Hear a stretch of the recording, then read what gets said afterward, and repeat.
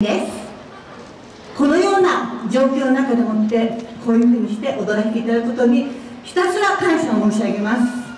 ありがとうございます。はい。私どもは、えー、今回の演舞は平野正門父正門に代わって竹谷社姫が天下を取ることを企てるという話を題材にしております。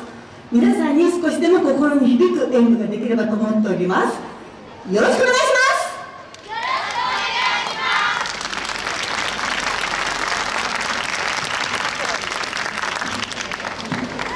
構え正門。